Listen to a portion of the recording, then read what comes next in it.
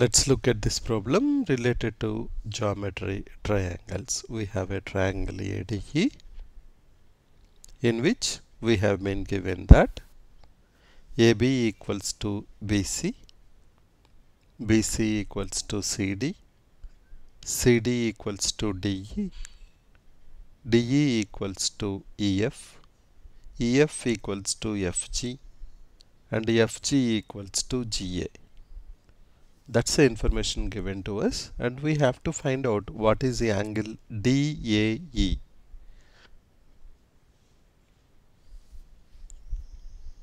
Now what is the concept we have to use to solve this particular problem? Related to triangles fundamentals. If you have a triangle then all the three angles of the triangle will add up to 180 degrees also, if two sides of a triangle are equal, then opposite angles are equal.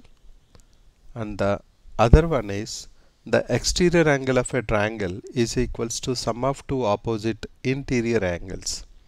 Let's take a small triangle XYZ to, to recap what we know about this. Let's take a small triangle XYZ and let us say the angles are 1, 2, 3.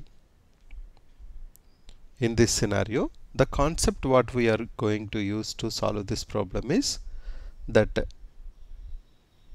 angle 1 plus angle 2 plus angle 3 is equals to 180 degrees sum of all interior angles of a triangle sum up to is equal to 180 degrees. And also exterior angle equals to sum of two opposite interior angles. Here you can see that angle 4 equals to angle 1 plus angle 2. And also if two sides are equal, let us say xy is equal to xz, then opposite angles are equal. That means angle 1 equals to angle 3. Now these properties we are going to use in this particular problem. These three concepts and we also know that at one particular point on a straight line all the angles will add up to 180 degrees. We can solve this so many different ways. One of the way I have tried I am just trying to share that with you. So let's start first. Let us say what we need to find out is x that is angle DAE. Take triangle ABC AB equals to BC so angle A equals to angle C. Let us say that is equals to x and x now what will be the exterior angle CBD? That will be x plus x 2x. Now we also know that BC equals to CD. Now let us switch to triangle BCD. We have base angles are equal therefore angle CDB is also equals to 2x.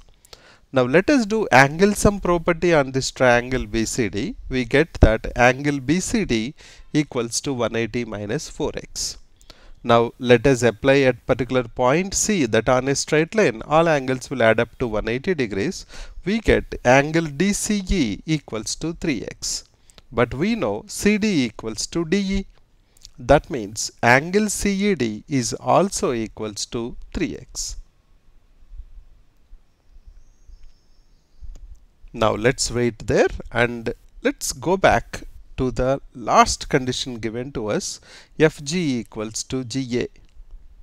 Since we started with angle DAE or angle GAF equals to x, we know Fg equals to Ga. So base angles are equal, therefore angle GFA is also equal to x. Again, we can apply the exterior angle property and we can find out that angle FGE is equal to 2x.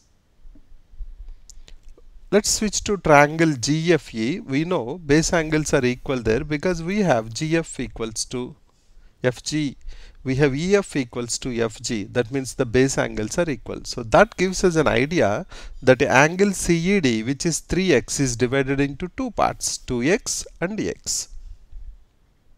Also let us do angle sum property on triangle CED.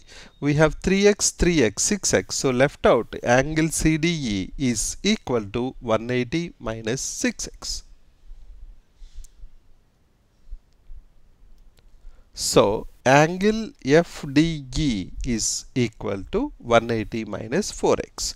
But if you take the triangle DEF and angle DEF equals to x, then what will be angle EFD?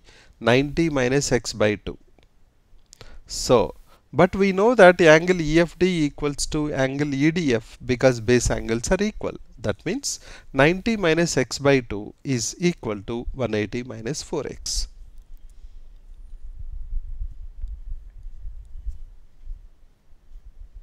Simplifying, we will get 4x minus x by 2 equals to 90 degrees. 180 minus 90 or 7x by 2 equals to 90 x equals to 180 by 7.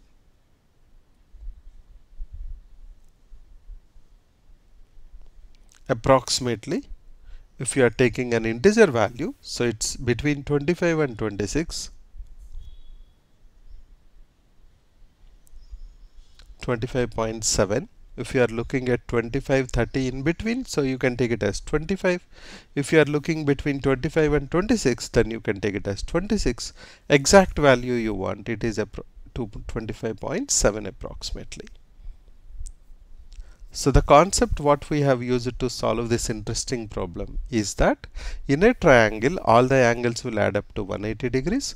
The exterior angle is equals to sum of two opposite interior angles and also if two sides of a triangle are equal then their opposite angles are equal. These are the three concepts we have used fundamentals to solve this interesting problem to find out that angle DAE equals to approximately 25.7.